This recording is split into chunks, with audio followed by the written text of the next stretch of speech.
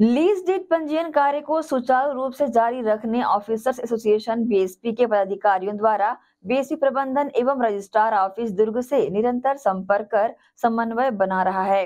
Lease deed पंजीयन से संबंधित कार्य के लिए दो हेल्प डेस्क का संचालन प्रगति भवन ओए बिल्डिंग में किया जा रहा है। पूर्व में लीज डीड के पंजीयन में सर्वप्रथम ऐसे लीज धारकों को प्राथमिकता दी जा रही थी, जो प्रथम आवंटी लीज धारक हैं। तथा जिनके सभी दस्तावेज़ उपलब्ध एवं सही है।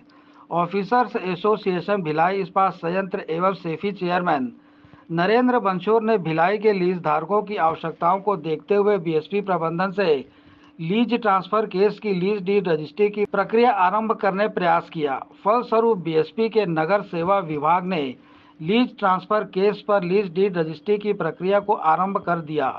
इस प्रकार लीज डीड पंजीयन के द्वितीय चरण की प्रक्रिया शुरू हो गई है। इस संबंध में ऑफिसर्स एसोसिएशन बीएसपी के अध्यक्ष नरेंद्र बंशोर ने अपनी प्रतिक्रिया दी।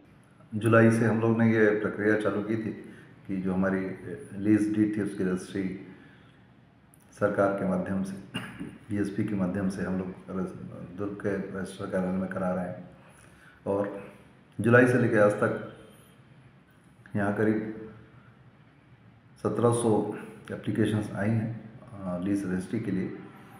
और प्रथम चरण में जिन लोग के नाम से खुद के लीज के मकान हैं, उनकी रजिस्ट्री हुई।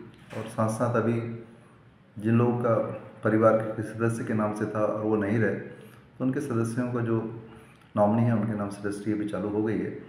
और आज की तारीख में करीब 1500 एप्लीकेशन हमारे टाउनशिप विभाग से, नगर सेवा विभाग के द्वारा क्लियर हो चुकी हैं।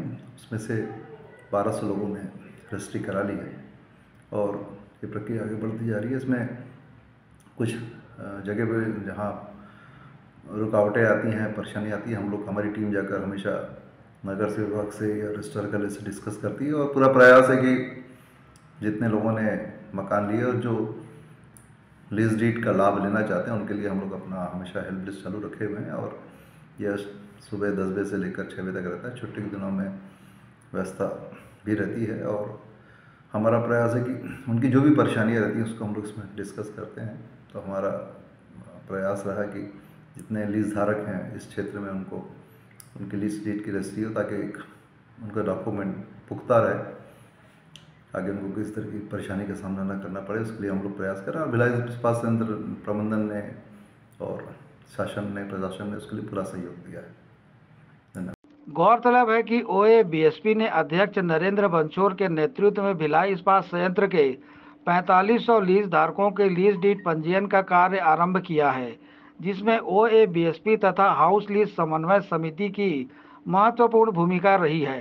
लीज डी रजिस्ट्रेशन का कार्य जुलाई 2023 से आरंभ किया गया है, जिसके माध्यम से 1650 से अधिक लीज धारकों का लीज डीट तैयार किया गया है।